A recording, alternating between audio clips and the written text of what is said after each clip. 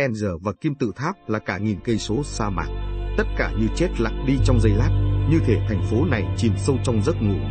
Không còn hàng quán nữa, không còn những nhà buôn mặc cả nữa, không còn những người ngân nga trên tháp giáo đường, không còn cây kiếm báu với cán cẩn đá quý, không còn hy vọng và phiêu lưu nữa, hết luôn cả những ông vua già và những đường đời tự vạch, hết luôn những kho tàng và kim tự tháp. Cả thế giới như nín lặng bởi vì tâm hồn cậu câm nín, không đau đớn, không khổ, không thất vọng. Chỉ có một cái nhìn trống không qua cửa quán ăn và một khát khao được chết, muốn rằng tất cả chấm dứt ngay giây phút ấy. Người bán hàng pha lê lo lắng nhìn cậu. Tất cả sự vui sống mới đây ông thấy ở cậu như chợt biến đâu mất hết. Ta có thể cho cậu tiền để về nước, ông an ủi. Cậu vẫn lặng thinh, rồi chợt đứng phát lên, kéo quần ngay ngắn, cầm lấy bị. Cháu sẽ làm việc cho ông, cậu đáp. Sau một lát, cậu nói tiếp, cháu cần tiền để mua giam ba con cừu đã gần một tháng nay cậu làm việc cho chủ tiệm pha lê, nhưng công việc không làm cậu thoải mái lắm. Ông ta đứng suốt ngày sau quầy hàng với vẻ mặt ngán ngẩm, luôn miệng nhắc cậu phải cẩn thận kẻo vỡ. Tuy thế cậu vẫn tiếp tục làm vì tuy ông già này bận tính nhưng sòng phẳng và tiền hoa hồng cho mỗi món bán được cũng kha khá, thành ra cậu cũng đã dành dụng được một chút ít. Sáng hôm ấy cậu nhầm tính, nếu tiếp tục làm như từ trước đến giờ thì cậu cần một năm mới mua nổi răm ba con cừu. Cháu muốn đóng một cái kệ bày hàng pha lê, cậu nói với chủ tiệm. Ta có thể kê kệ trước cửa tiệm để lôi kéo khách đến đây. Ta không đóng kệ cũng bởi vì sợ người đi va phải, bể hết ly tách, chủ tiệm đáp. Ngày trước, khi cháu dẫn cừu đi thì lúc nào cũng có nguy cơ chúng bị rắn cắn, nhưng đã làm thân cừu và người chăn chúng thì phải chấp nhận thôi. Người chủ tiệm tiếp một ông khách, ông này mua luôn ba bình hoa. Hàng họ bán chạy hơn bao giờ hết, khác nào thế giới quay lại cái thời mà con đường này là một trong những nơi hấp dẫn du khách nhất ten giờ. Hàng họ bán chạy quá, chủ tiệm nói với cậu sau khi người khách kia đi khỏi. Tiền này sẽ cho phép ta được sống thoải mái hơn và chẳng bao lâu nữa cậu lại có một bầy cừu. Thế thì việc gì phải làm thêm cho nhọc nhằn chứ? Vì chúng ta phải làm theo dấu hiệu, cậu đáp để rồi hối tiếc đã lỡ lời, vì chủ tiệm pha lê đã từng gặp ông vua nào đâu. Cái đó gọi là thánh nhân đãi kẻ khù khờ. Vì cuộc đời muốn rằng anh phải đi theo con đường của riêng mình, ông vua già đã nói thế mà. Thế mà ông chủ tiệm cũng hiểu ý cậu đấy. Ngay sự có mặt của cậu trong cửa tiệm đã là một dấu hiệu rồi. Rồi khi tiền bắt đầu vào như nước thì ông không hối tiếc đã thuê chàng trai Tây Ban Nha này. Lúc đầu vì ông nghĩ rằng không thể bán nhiều hơn trước nên đã đề nghị trả cậu tiền hoa hồng khá cao, thành ra cậu kiếm được nhiều hơn bình thường. Nhưng trực giác ông cho biết chàng trai này nay mai thế nào cũng trở về với lũ cừu của cậu thôi. Vì lý do gì cậu lại muốn biết kim tự tháp chứ? Ông hỏi lại khỏi chuyện cái kể. Vì cháu nghe kể hoài về chúng, cậu đáp nhưng tránh không đả động đến giấc mơ. Cái kho tàng đã trở thành một kỷ niệm đau đớn nên cậu cố không nghĩ tới nữa. Ta chẳng quen biết một ai ở đây muốn vượt sa mạc chỉ để xem kim tự tháp cả. Chủ tiệm nói, đó chẳng qua chỉ là những đống đá thôi. Cậu có thể tự xếp lấy một cái ngay trong vườn cũng được cơ mà. Coi bộ ông không mơ ước được đi đây đi đó nhỉ. Cậu đáp rồi quay qua tiếp một người khách mới bước vào tiệm. Hai hôm sau chủ tiệm tìm cậu để nói về vụ cái kệ. Ta không ưa thay đổi. Ông nói, cậu và ta không giống như nhà đại phú thương Hassan kia. Lỡ mua nhầm hàng thì ông ta cũng chẳng bận tâm gì. Nhưng nếu một trong hai chúng ta nhầm lẫn thì khổ thân to. Đúng thế thật, cậu thầm nghĩ. Cậu cần cái kệ để làm gì? Chủ tiệm hỏi. Cháu muốn được trở về với lũ kiều càng sớm càng tốt. Chúng ta phải tận dụng thời gian được may mắn. Người ta gọi đó là nguyên lý đãi ngộ hay thánh nhân đãi kẻ khù khở. Ông chủ tiệm giả im lặng một lúc rồi nói, đấng tiên tri cho chúng ta kinh Koran và để lại có năm điều răn thôi để chúng ta tuân thủ trong đời sống. Điều răn quan trọng nhất là chỉ có một thượng đế duy nhất. Những điều răn kia là mỗi ngày cầu nguyện năm lần, ăn chay trong tháng Ramadan, giúp kẻ bần hàn. Ông ngừng nói, mắt ông rưng rưng khi nhắc đến đấng tiên tri. Vì ngoan đạo cho nên dù đôi khi bản tính ông vẫn cố sống theo lời răn của đạo hội. Thế còn điều răn thứ năm, cậu hỏi, hai hôm trước cậu bảo rằng ta không có ước mơ đi đây đi đó. Nhà buôn pha lê đáp, bổn phận thứ năm của một người Hồi giáo là ít nhất một lần trong đời hành hương đến thánh địa Mecca. Mecca còn xa hơn kim tự tháp nhiều. Hồi trẻ, ta muốn dành dụm ít tiền để mua cửa tiệm này. Lúc ấy ta nghĩ đến một ngày đủ khá giả để đi Mecca. Rồi ta kiếm được khá tiền nhưng lại không nhờ ai trông hàng được vì pha lê rất dễ vỡ. Mà ta lại thấy nhiều người đi hành hương Mecca kéo qua trước cửa nhà. Có vài người giàu kéo theo cả đoàn người làm và lạc đà, nhưng phần lớn họ nghèo hơn ta nhiều. Ai nấy hớn hở trở về và treo dấu hiệu của chuyến hành hương trên cửa.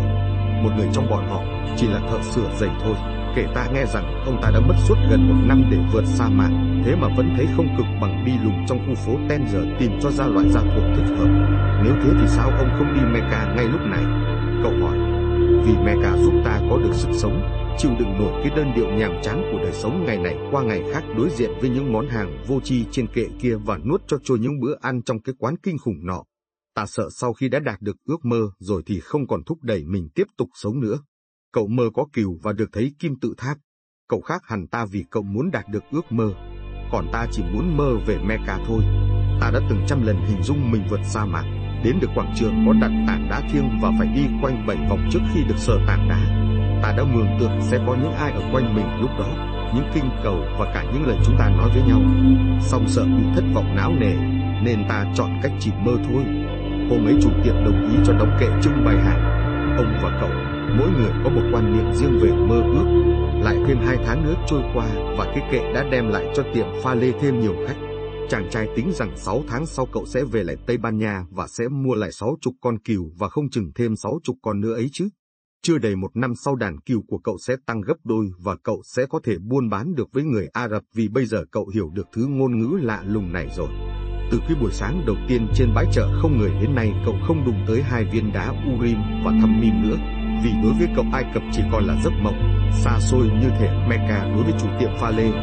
Giờ thì cậu thích việc mình làm và luôn nghĩ đến lúc sẽ đặt chân lên Tarifa như một kẻ chiến thắng.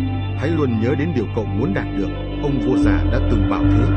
Bây giờ thì cậu hiểu và cố công thực hiện. Có thể kho tàng của cậu chính là đến được xứ lạ này, gặp phải một tay bợm và rồi tậu được bầy kiều nhiều gấp đôi mà chẳng phải trả tí gì hết. Cậu thấy tự hào, chả gì cậu cũng đã học được nhiều điều quan trọng chẳng hạn biết bán hàng pha lê, dùng ngôn ngữ không lời nói và hiểu dấu hiệu. Một buổi xế trưa nọ cậu gặp một người trên triển núi. Ông ta phàn nàn rằng sau cái dốc cao vòi vọi này chẳng tìm ra đâu một chỗ cho đàng hoàng có bán giải khát. Do đã hiểu được ngôn ngữ của dấu hiệu, cậu bèn tìm chủ tiệm, nói rằng ta nên bán trà cho những người leo dốc lên đây. Quanh đây đã có đủ nơi bán trà rồi. Chủ tiệm đáp, ta có thể mở trà đựng trong ly pha lê. Trà sẽ ngon hơn và người ta sẽ mua luôn cả ly vì cái đẹp thường quyến rũ con người nhiều nhất. Chủ tiệm lặng im nhìn cậu một lúc, ông không nói gì cả. Nhưng chiều tối hôm ấy, sau khi cầu nguyện xong và đóng cửa tiệm, ông ngồi xuống lề đường rồi bảo cậu cùng hút Nazile, một loại ống điếu thuốc lào nước độc đáo người Ả Rập thường hút. Với ông, cậu chủ tâm muốn gì chứ? Chủ tiệm hỏi. Như đã nói, cháu muốn tậu lại bảy kiều, nên cháu cần tiền. Chủ tiệm bỏ thêm than vào điếu rồi rít một hơi dài. Từ 30 năm nay ta làm chủ cửa tiệm này, ta phân biệt giữa pha lê xấu và tốt, ta cũng biết rõ phải buôn bán cách nào. Này nếu cậu bán trà trong ly pha lê hàng họ sẽ phất đấy nhưng mà ta sẽ phải thay đổi nếp sống. Như thế có gì là không hay, ta đã quen sống thế này rồi. Trước khi cậu đến ta vẫn còn nghĩ rằng mình đã bỏ phí quá nhiều ngày giờ ở đây, trong khi các bạn ta dọn đi nơi khác rồi hoặc họ làm ăn khấm khá, hoặc thất bát, ta lấy thế làm buồn. Nhưng rồi nhận ra rằng mình nghĩ sai, tầm cỡ cửa tiệm này đúng như ta mong muốn, Ta không muốn sửa đổi gì nữa cả chỉ vì không biết sửa đổi thế nào. Ta đã quá quen sống thế này rồi. Vì chàng trai không biết trả lời sao nên ông nói tiếp, cậu đúng là phước lành thượng đế ban cho ta. Ngày này ta mới hiểu nếu cự tuyệt thì phước lành sẽ thành mối họa. Ta thật không còn mong ước gì cho đời mình nữa. Nhưng cậu lại ép ta nhìn thấy sự giàu sang phú quý và vô vàn chân trời mới lạ ta chưa hề biết. Bây giờ thấy những thứ ấy rồi và thấy cả khả năng vô hạn của ta nữa thì ta lại cảm thấy mình khốn khổ hơn vì biết rằng muốn thì sẽ được, thế mà ta lại không muốn. May mà hồi đó mình không nói gì với anh chàng bán kem, cậu thầm nghĩ. Mặt trời bắt đầu lặn mà họ vẫn ngồi hút na di lê thêm một chập nữa. Họ trò chuyện tiếp và chàng trai hài lòng vì nói được tiếng Ả Rập. Có một thời cậu đã nghĩ rằng lũ cừu có thể dạy được cho cậu biết mọi thứ trên đời, nhưng tiếng Ả Rập thì chúng không dạy cậu được. Chắc chắn trên đời này còn nhiều thứ lũ cừu không dạy mình nổi. Cậu lặng thinh ngẫm nghĩ và quan sát người chủ tiệm. Nói cho cùng thì chúng chỉ lo tìm cái ăn và nước uống. Có thể nói không phải chúng dạy mình mà chính là do mình học được. M-A-K-T-U-B, chủ tiệm lên tiếng nghĩa là gì? Phải là người Ả Rập mới hiểu được, ông đáp. Nhưng tạm dịch ra thế này, trong kinh thánh Quran có viết, rồi trong khi dập tắt than trong Najile ông bảo rằng từ nay cậu có thể bán trà trong ly cà phê được đấy. Đôi khi không có cách gì ngăn được dòng đời. Người nào leo hết dốc tới nơi đều mệt nhoài. Rồi họ thấy ở cửa hàng pha lê trên đó có bán trà bạc hà. Họ vào uống và trà được bưng ra trong những ly mài rất đẹp. Thế mà bà vợ mình không nghĩ ra. Một người trầm ngâm rồi mua vài cái ly. vì tối hôm ấy nhà ông có khách. Khách của ông ta nhất định sẽ trầm trồ những cái ly đẹp này. Kẻ khác quả quyết rằng trà đựng trong ly pha lê ngon hơn nhiều vì giữ được mùi thơm hơn. Người thứ ba cho rằng truyền thống của phương Đông là uống trà trong ly pha lê mài vì chúng có những lực kỳ diệu. Chẳng bao lâu sau tin lan truyền đi và nhiều người cố công leo lên dốc tìm cho được một cửa tiệm xưa này chuyên bán một loại hàng. Giờ thêm một thứ mới. Nhiều tiệm khác cũng bắt trước bán trà trong ly pha lê nhưng lại không nằm trên đỉnh dốc, thế là luôn luôn vắng khách. Ít lâu sau, ông chủ tiệm đã phải thuê thêm hai người nữa. Cùng với bình pha lê, ông nhập một khối lượng lớn trà cho các ông. Các bà ngày ngày khao khát thưởng thức cái mới. Sáu tháng liền như thế trôi qua. Chàng trai thức dậy trước cả lúc mặt trời mọc. Từ đó đến nay đã 11 tháng 9 ngày, kể từ khi cậu đặt chân lên lục địa châu Phi lần đầu tiên. Khác trên người chiếc áo choàng bằng vải gai màu trắng cậu sắm để dành riêng cho ngày hôm nay rồi cậu trùm khăn lên đầu và dùng một cái vòng làm bằng da lạc đà chít khăn lại. Cậu xỏ chân vào đôi dép mới rồi đi xuống dưới, không gây tiếng động. Thành phố còn chìm trong giấc ngủ. Cậu lót dạ với một cái bánh mì mẻ và uống trà nóng trong ly pha lê. Rồi cậu ra ngồi ở ngưỡng cửa, hút nazi lê một mình. Cậu cứ giết trà, chẳng nghĩ ngợi gì, chỉ lắng nghe tiếng gió rì rào đem đến mùi thơm sa mạc. Rồi cậu thọc tay vào túi áo khoác lấy ra một gói nhỏ, ngắm nghía hồi lâu. Đó là một cuộn tiền, đủ để tậu 120 con kỳ mua vé tàu về nước và xin giấy môn bài buôn bán giữa quê hương cậu và cái đất nước mà cậu đang ngồi đây. Cậu kiên nhẫn chờ cho đến khi ông già chủ tiệm thức dậy, mở cửa hàng. Rồi hai người lại uống một tuần trà. Hôm nay cháu sẽ lên đường, cậu mở lời. Hiện cháu đã đủ vốn liếng để chuộc lại bầy cừu, còn ông cũng đủ tiền để hành hương đến Mecca. Ông già ngồi lặng thinh. Xin ông hãy ban phước lành cho cháu, cậu nói. Ông đã giúp cháu rất nhiều. Ông già lặng thinh quấy trà. Cuối cùng ông quay sang cậu nói, ta rất hãnh diện vì cậu. Cậu đã đem đến cho cửa hàng của ta một sức truyền cảm mới. Nhưng cậu biết rõ rằng ta sẽ không đi Mecca. Cũng như cậu tự biết rằng mình sẽ không mua kiểu. Ai bảo thế? Cậu hốt hoảng hỏi. Mắc tốt, người chủ tiệm pha lê chỉ đã có thế. Rồi ông ban phước lành cho cậu. Chàng trai lên phòng, thu vén tất cả những gì mình có. Được ba túi đầy. Vừa dậm đi cậu chợt thấy ở góc phòng trước bị đeo vai cũ thời chăn cừu của mình. Nó sờn đến nỗi không nhận ra. Trong bị còn quyển sách dày và chiếc áo khoác cũ. Cậu lấy áo ra, định đem cho một đứa trẻ sống lang thang nào đó thì hai viên đá Urim và Thummim rơi xuống. Lúc này cậu mới nhớ đến vị vua già và sừng sốt vì không ngờ bấy lâu nay mình không hề nghĩ đến ông.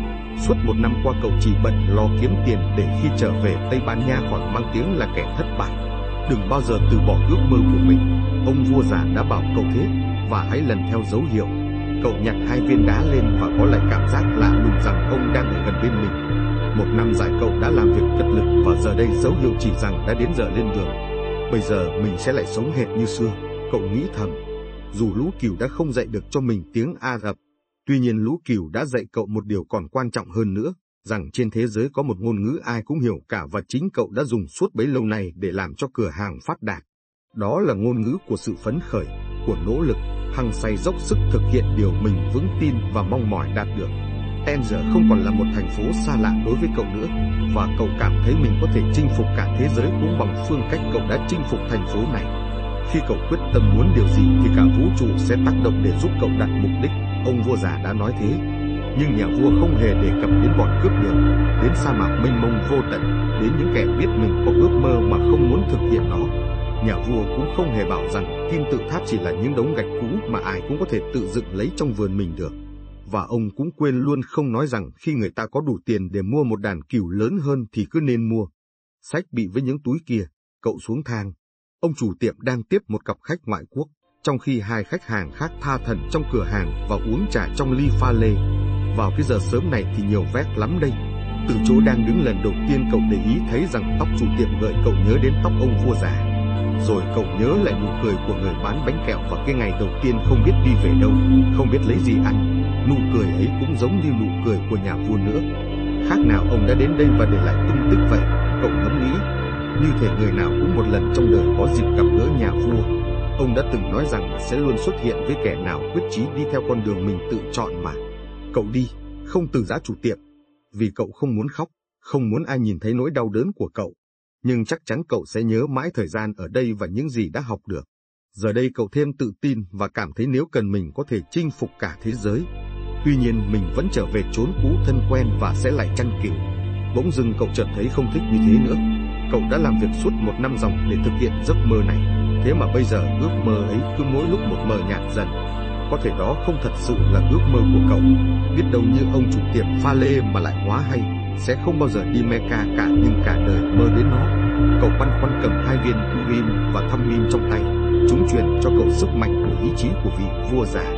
Tình cờ, hoặc cũng có thể do dấu hiệu, cậu vào đúng cái quán nước ngày xưa, không thấy gã đã bịp cậu đâu, chủ quán bưng đến cho cậu một tách trà. Bất cứ lúc nào mình cũng có thể trở lại chăn cừu được, cậu ngẫm nghĩ. Mình đã biết cách chăn cừu rồi thì không thể nào quên được. Còn đi đến kim tự tháp Ai Cập thì biết đâu mình không có dịp nào khác nữa.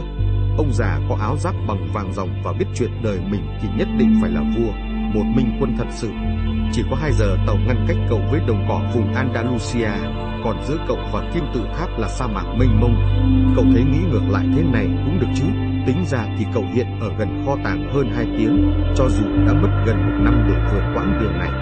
Thật dễ hiểu vì sao mình cứ thiên về lũ cừu của mình, vì mình biết rõ chúng rồi, chăn chúng cũng chẳng cực gì và chúng dễ thương. Còn mình có ưa được sa mạc không thì chưa biết, nhưng mà kho tàng của mình chôn ở đó. Nếu không tìm thấy kho tàng thì mình vẫn trở về nước được mà. Hiện mình đủ tiền và thừa thì giờ, tại sao không thử nhỉ? Một nỗi vui ập đến tràn ngập trong lòng cậu. Lúc nào cậu muốn làm kẻ chăn cừu hay thành người bán hàng pha lê cũng được. Có thể trên thế giới còn nhiều kho tàng bí mật khác nữa, nhưng cậu đã nằm mộng hai lần và một nhà vua đã xuất hiện với cậu. Đâu phải ai cũng được thế. Cậu hân hoan rời khỏi quán nước vì chợt nhớ ra rằng một trong những người cung cấp hàng cho chủ tiệm pha lê đã chở hàng vượt sa mạc cùng với một đoàn lữ hành. Cậu nắm chặt hai viên đá Urim và thâm minh, nhờ chúng mà cậu đã trở lại con đường dẫn đến kho tàng. Ta luôn luôn ở cạnh những kẻ đi theo con đường mình tự chọn, ông vua già đã nói. Vậy thì mất gì mà không hỏi thử ở nhà kho xem kim tự tháp có xa thật thế không? Anh chàng người anh nọ ngồi trong một tòa nhà nồng mùi thú vật, mồ hôi và bụi bặm. Không thể nào gọi là nhà kho được, một cái chuồng thì đúng hơn. Mình đã học hành cả đời để rồi lạc loài đến đây. Anh thầm nghĩ trong khi lơ đãng lần dở một tập san hóa học, 10 năm học đổi lấy một chuồng đốt thú vật. Nhưng anh không được thoái chí.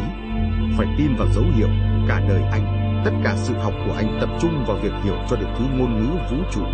Mới đầu anh quan tâm đến Esperanto, sau đó đến tôn giáo rồi sau cùng là thuật giả kim. Đến nay anh đã nói được tiếng Esperanto, thấu hiểu các tôn giáo lớn nhưng anh vẫn chưa thành nhà giả kim. Chắc chắn anh đã học được cách giải đoán nhiều điều quan trọng, nhưng sự thâm cứu của anh đã đạt tới một mức để rồi không tiến thêm được nữa.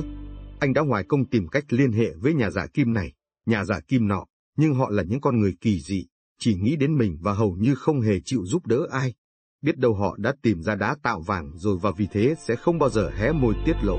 Anh đã dùng một phần gia tài thừa hưởng của bố vào việc đi tìm đá tạo vàng cũng như đã tìm đến những thư viện tiếng tăm nhất thế giới và đã mua những tác phẩm quan trọng và hiếm nhất về thuật giả kim. Trong một tác phẩm có ghi chép rằng nhiều năm trước một nhà giả kim chữ danh người Ả Rập đã sang thăm châu Âu. Nghe đồn rằng ông này đã hơn 200 tuổi và đã phát hiện ra đá tạo vàng như tìm ra thuốc trường sinh bất lão. Chàng người Anh lấy rất làm khâm phục nhưng anh sẽ vẫn cho rằng đó chỉ là một trong những huyền thoại thôi. Nếu như một người quen của anh trở về sau chuyến khảo cổ trong sa mạc không tình cờ kể về một người Ả Rập già có những năng lực phi thường. Ông ta sống ở ốc đảo El Fayum, người quen nọ nói. Người ta kháo rằng ông ta 200 tuổi và có thể biến mọi kim loại thành vàng.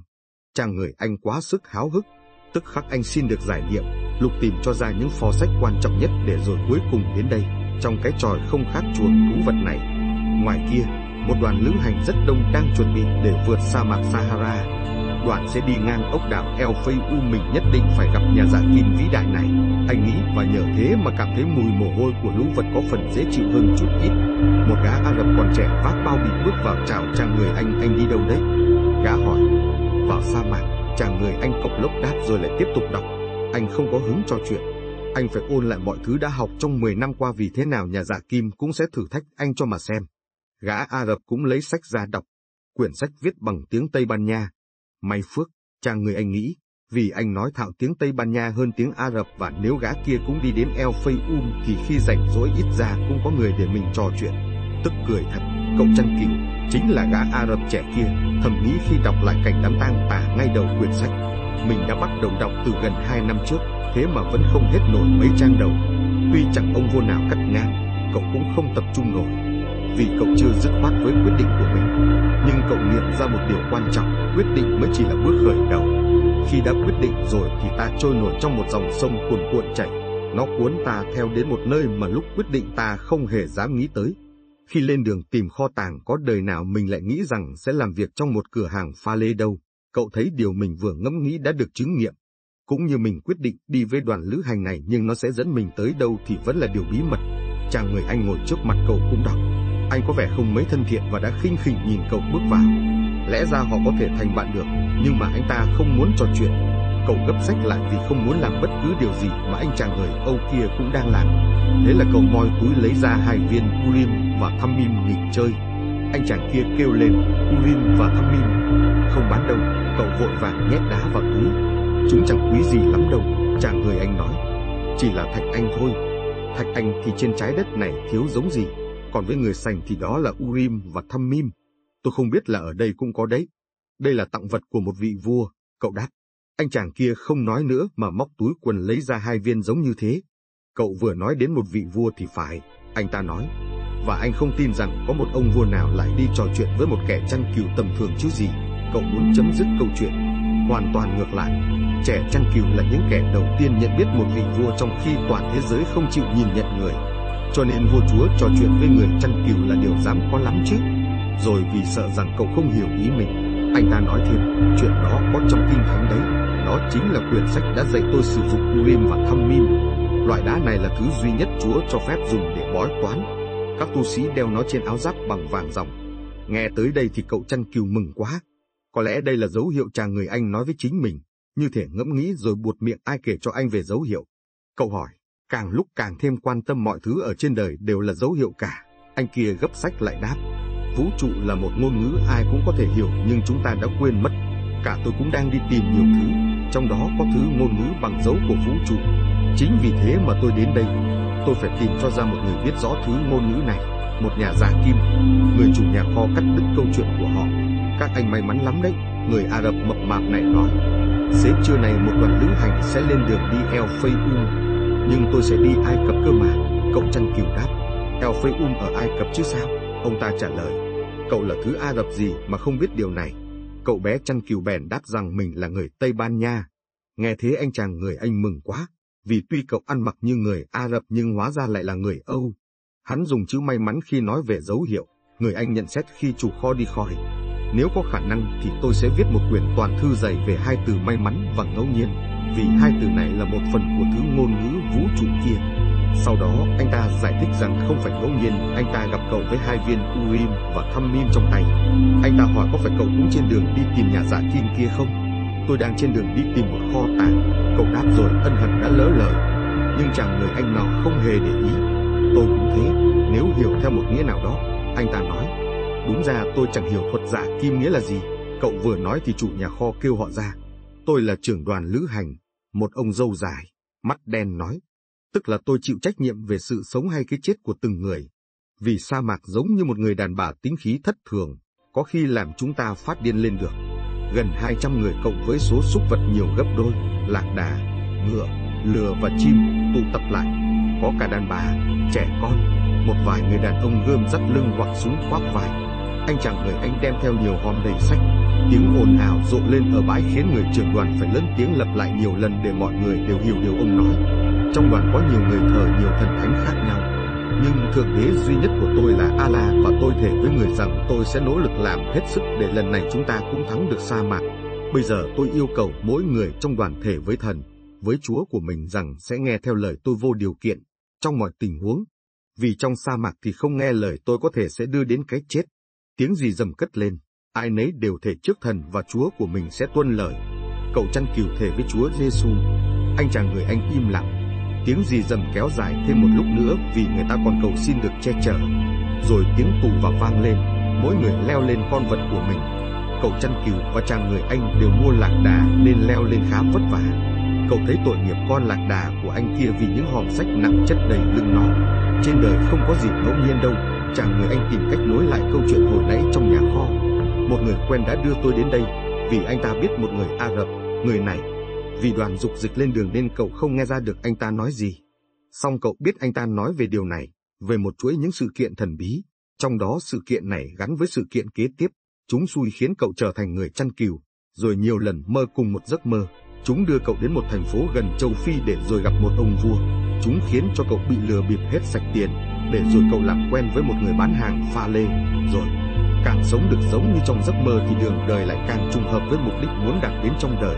Cậu nghĩ, đoàn người đi về hướng mặt trời mọc, họ đi vào buổi sáng, nghỉ chân khi mặt trời đứng bóng, xế trưa lại đi tiếp. Cậu chăn cừu ít trò chuyện với anh chàng người Anh vì anh ta thường chú mũi vào sách. Thế là cậu bèn lặng lẽ quan sát cuộc hành trình của người và vật qua sa mạc. Giờ thì mọi thứ khác hẳn ngày đầu. Hôm ấy thật là ồn ào và lộn xộn, tiếng con nít khóc lẫn với tiếng thú vật kêu, thêm tiếng các trưởng quán và các khách thương gắt gỏng ra lệnh. Trong sa mạc, ngược lại, chỉ có tiếng gió thổi liên tục, sự yên ắng và tiếng chân thú vật. Ngay cả các trưởng toán cũng ít trò chuyện với nhau.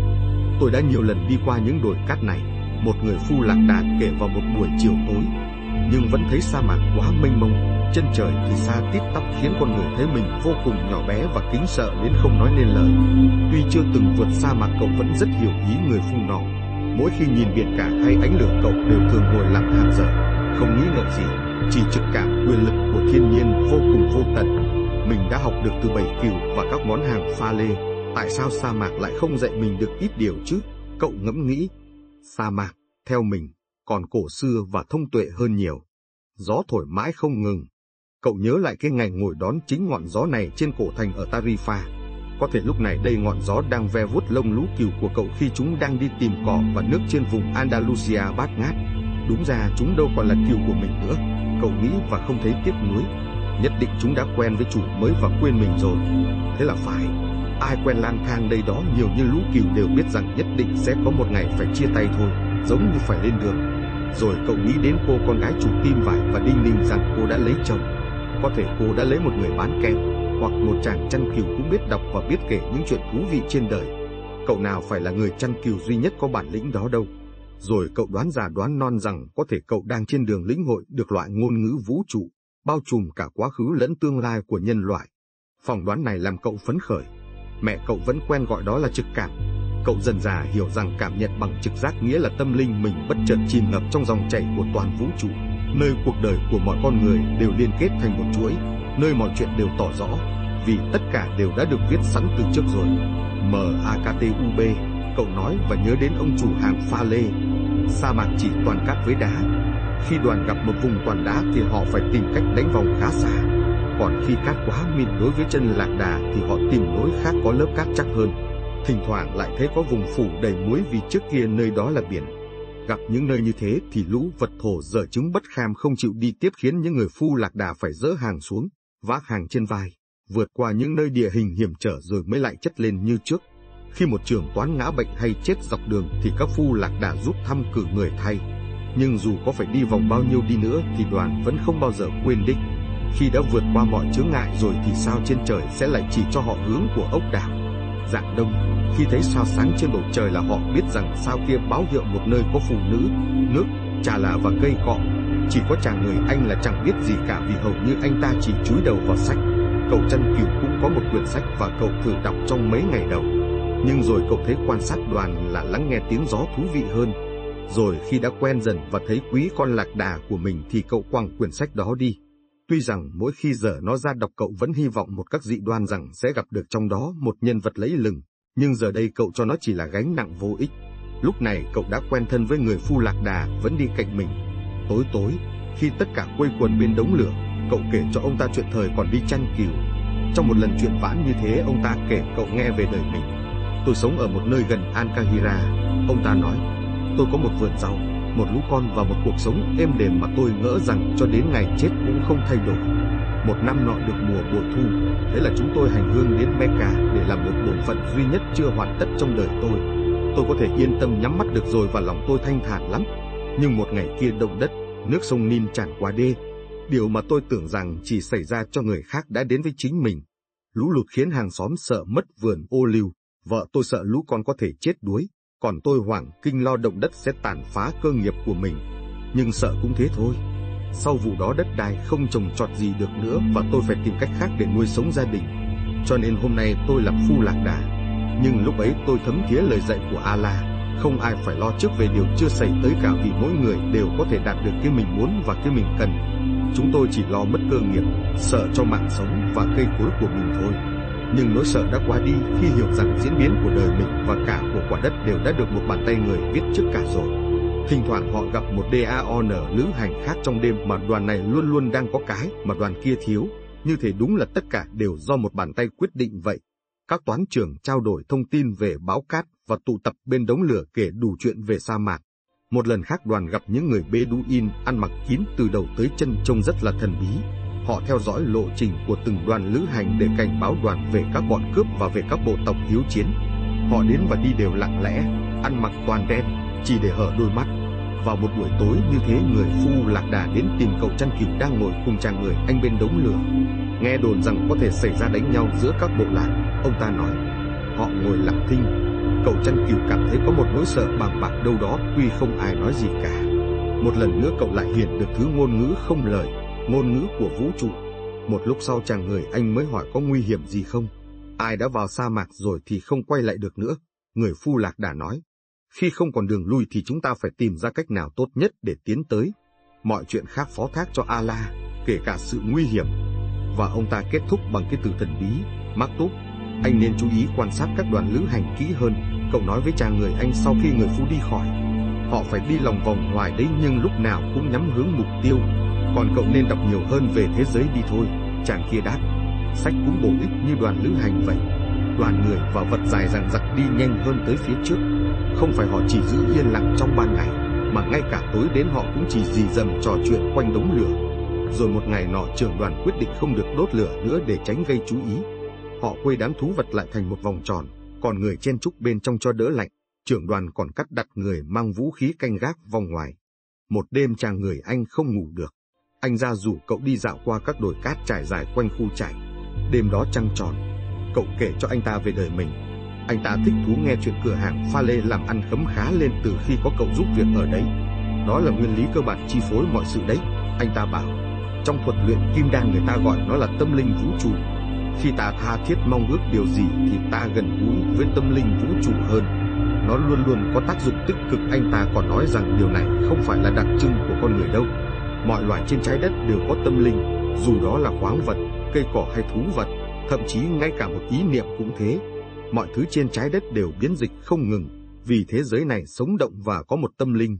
Chúng ta là một bộ phận của tâm linh này và hiếm khi chúng ta ý thức được rằng nó có ảnh hưởng tích cực đến việc chúng ta làm. Và cậu nên biết rằng ngay cả từng chiếc bình pha lê trong cái tiệm nọ đều đã góp phần vào sự thành công của cậu đấy. Cậu im lặng ngắm nhìn mặt trăng và cát trắng. Lát sau cậu nói, tôi đã quan sát đoàn suốt dọc đường đi qua sa mạc. Đoàn và sa mạc nói cùng một thứ tiếng nên đoàn được phép đi băng qua nó. Đoàn cân nhắc từng bước đi một để được hòa điệu thì đoàn đến được ốc đảo. Bất cứ ai trong chúng ta đến đây, dù can đảm có thừa nhưng không hiểu được thứ ngôn ngữ ấy thì sẽ chết ngay từ đầu. Hai người cùng ngắm mặt trăng. Đó chính là phép kỳ diệu của dấu hiệu. Cậu nói tiếp, tôi đã nhìn thấy được các trưởng toán nhận biết ra dấu hiệu của sa mạc như thế nào cũng như cách tâm linh của đoàn hội ý với tâm linh sa mạc lát sau trang người anh nói, tôi phải quan tâm đến đoàn nhiều hơn mới được. Còn tôi thì cần phải đọc lô sách của anh. Cậu đáp đó thật là những quyển sách kỳ lạ, viết về thủy ngân, muối, rồng và vua chúa. Cậu chẳng hiểu gì cả. Dẫu sao cũng có mở một ý chính xuyên suốt gần hết mọi quyển. Đó là mọi sự vật đều góp phần diễn giải cho tổng thể. Trong một quyển nọ cậu phát hiện ra rằng văn bản quan trọng nhất của thuật luyện kim đan chỉ vẻn vẹn có mấy hàng thôi, viết trên một phiến ngọc lục bảo. Tên nó là Tabula Smaradina, chàng người Anh nói, tự hào vì đã dạy cho cậu được ít điều mới. Tất cả những sách này dùng vào việc gì? Để diễn giải những hàng chữ đó, anh đáp xong có vẻ không tự tin lắm. Quyển sách cậu chăn cừu thích hơn cả kể về cuộc đời những nhà luyện kim đan nổi tiếng nhất.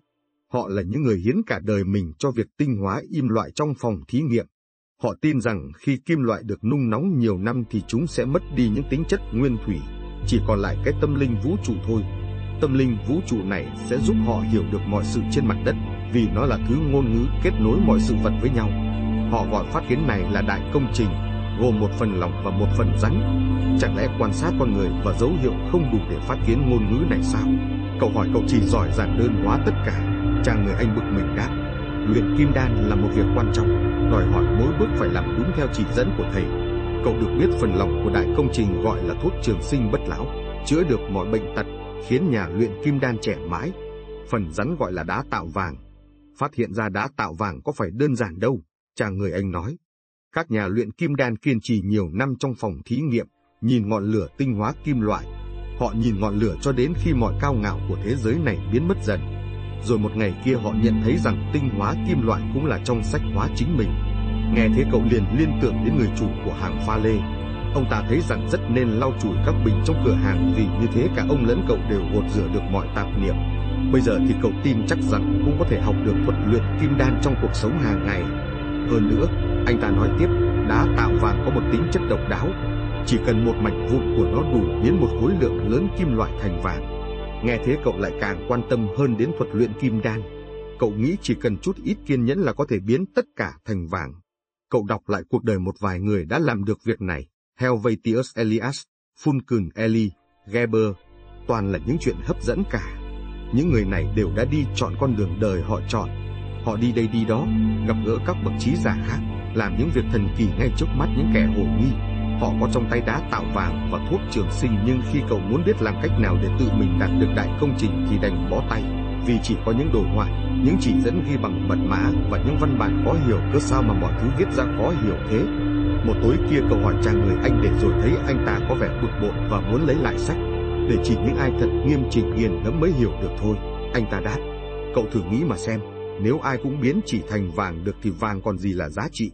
Chỉ những ai kiên tâm chỉ trí, chỉ những ai nghiên cứu nhiều mới đạt được đại công trình một cách trọn vẹn. Chính vì thế mà tôi đến tận giữa sa mạc này để tìm gặp một nhà luyện kim đan chính cống giúp tôi giải mã cái ngôn ngữ bí mật kia. Những sách này được viết hồi nào? Cậu hỏi từ nhiều thế kỷ trước hồi đó làm gì đã có sách in, cậu khăng khăng cãi. Thành ra không phải bất kỳ ai cũng biết đến thuật luyện kim đan. Vậy thì việc gì phải dùng đến thứ ngôn ngữ kỳ quặc kia và những đồ họa? Anh kia không trả lời câu hỏi của cậu mà nói rằng đã quan sát đoàn lữ hành mấy ngày nay xong chẳng phát hiện gì mới. Điều duy nhất anh ta cảm thấy là tin đồn về đánh nhau cứ dồn dập thêm. Một ngày nọ cậu đưa trả sách cho anh ta sao? Cậu học hỏi được nhiều chứ? Anh ta háo hức, vì cần có người trò chuyện để quên đi nỗi lo sợ sắp xảy ra đánh nhau tôi học được rằng thế giới có tâm linh và ai hiểu được tâm linh ấy sẽ hiểu được ngôn ngữ của sự vật. Tôi cũng được biết rằng nhiều nhà luyện kim đan đã sống theo con đường mình vạch và như thế đã phát hiện ra tâm linh vũ trụ, đá tạo vàng và thuốc trường sinh. Nhưng điều cốt yếu tôi học được là những chuyện đó đơn giản đến nỗi ghi vừa trên một phiến ngọc lục bảo. Anh chàng kia thất vọng quá. Bao nhiêu năm nghiên cứu của mình, những ký hiệu thần diệu, những từ bí hiểm, những dụng cụ thí nghiệm, chẳng gây được ấn tượng gì nơi gã này cả. Tâm hồn gã quá chất phác nên không thể hiểu chuyện này được. Anh ta ngẫm nghĩ, rồi anh ta đón lấy sách, nhét vào túi cho lạc đà thôi. Thôi cậu hãy quay về với đoàn lữ hành của cậu đi vậy. Tôi cũng chẳng học được gì từ nó cả cậu tận hưởng sự yên ắng của sa mạc, quan sát bụi cát tung lên dưới bước chân lũ vật. Người nào có cách học hỏi của người nấy, cậu tự nhủ. Cách của anh ta không phải cách của mình, còn cách của mình không giống cách anh ta. Song cả hai đều đang đi tìm con đường sống cho mình, nên mình coi trọng anh ta. Trong thời gian này đoàn đi cả ngày lẫn đêm, những người Bedouin ăn mặc kín từ đầu đến chân thường xuyên xuất hiện đưa tin tức mới, và người phu lạc đã quen cậu cho biết các buộc lạc đã bắt đầu đánh nhau rồi. May mắn lắm đoàn mới có thể an toàn đến được ốc đảo. Lũ vật kiệt sức còn người càng lặng lẽ hơn. Đêm khuya thanh vắng là đáng sợ nhất vì chỉ một tiếng kêu của lạc đà. Trước đây vốn là chuyện bình thường cũng khiến tất cả hoảng sợ, bởi đó có thể là dấu hiệu tập kích người phu nọ có vẻ như chẳng bận tâm gì lắm trước sự đe dọa của chiến tranh. Tôi vẫn sống như từ trước tới giờ. Ông ta nói với cậu trong lúc thưởng thức một đĩa trà là vào một đêm không đốt lửa và không trăng. Nghĩa là khi ăn tôi không làm gì khác hơn là ăn. Khi chạy tôi không làm gì khác ngoài chạy. Rồi nếu có phải đánh nhau thì cái ngày tôi chết cũng đẹp như mọi ngày khác. Tôi không sống trong quá khứ hay tương lai. Tôi chỉ có hiện tại và chỉ quan tâm tới hiện tại. Nếu ta lúc nào cũng ở trong hiện tại được thì ta là người hạnh phúc. Như thế ta sẽ thấy rằng sa mạc này vẫn đang sống, rằng bầu trời vẫn đầy sao và người ta đánh nhau vì đó là đặc trưng của con người. Như thế cuộc đời sẽ thành một ngày hội lớn, một buổi lễ lớn vì đời bao giờ cũng chỉ là khoảng khắc ta hiện đang sống. Hai đêm sau, khi họ dọn chỗ ngủ thì cậu nhìn lên ngôi sao đã dẫn đường họ. Cậu ngạc nhiên thấy chân trời có vẻ thấp hơn trước vì trên bầu trời có tới hàng trăm vì sao phía đó là ốc đảo đấy. Người phu nói thế sao mình không đi ngay lại đó? Vì mình cần phải ngủ. Cậu mở mắt khi mặt trời ló dạng ở chân trời. Đêm trước nơi đó còn lấp lánh ánh sao. Giờ đây là một hàng cây trà là dài ngút mắt chúng ta đến nơi rồi. Cha người anh nói và thấy nhẹ cả người. Anh ta cũng mới vừa thức giấc, cậu không nói gì. Cậu đã học được sự nín lặng của sa mạc và hài lòng với việc ngắm hàng trà là nơi chân trời kia. Cậu còn phải đi xa nữa mới tới được kim tự tháp và một ngày nào đó buổi sáng hôm nay sẽ chỉ còn là kỷ niệm. Nhưng lúc này đây nó là khoảnh khắc của hiện tại, là ngày hội mà người phu lạc đà đã nói. Cậu thưởng thức nó, nhớ lại những bài học của quá khứ và những ước mơ cho tương lai. Một ngày kia cả nghìn cây trà là này sẽ chỉ là kỷ niệm, nhưng giờ đây, với cậu, chúng là bóng mát, là nước và nơi tránh chiến tranh. Hôm qua, tiếng kêu của con lạc đà có thể gây nguy hiểm, thì giờ đây rừng trà là có thể báo hiệu sự kỳ diệu. Thế giới nói bằng nhiều thứ ngôn ngữ, cậu nghĩ, đoàn lữ hành tới cũng hối hả như thời gian trôi. Nhà luyện kim đan thầm nghĩ khi nhìn cả trăm người và thú vật tới được ốc đảo. Dân chúng lớn tiếng hò reo chạy về phía đoàn người mới tới. Bụi bay mù trời, lũ trẻ reo hò, nhảy như choi choi khi thấy đoàn người lạ.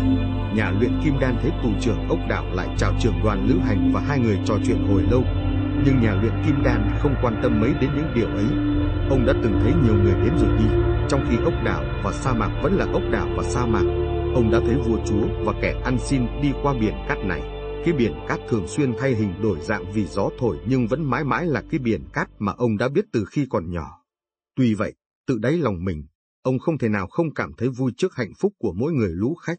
Sau bao ngày chỉ có cát vàng với trở xanh nay được thấy trà là xanh tươi hiện ra trước mắt.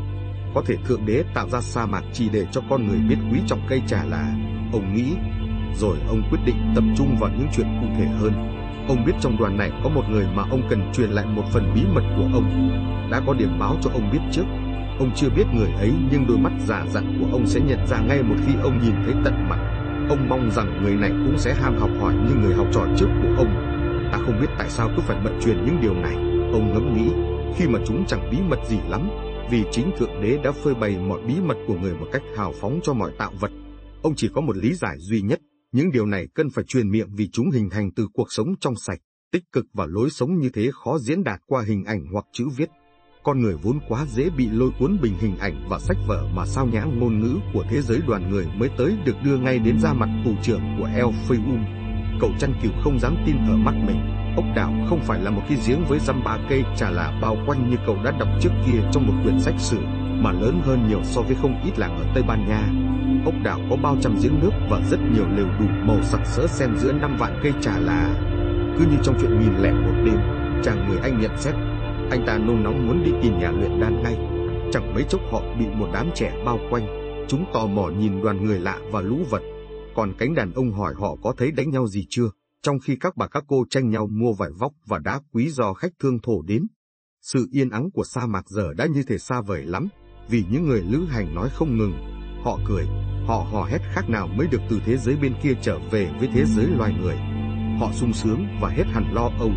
Ở sa mạc thì họ phải hết sức cảnh giác, chứ bây giờ, người phu lạc đà giải thích cho cậu biết, ốc đảo luôn luôn được coi là vùng đất trung lập, vì đa số dân ốc đảo là phụ nữ và trẻ em.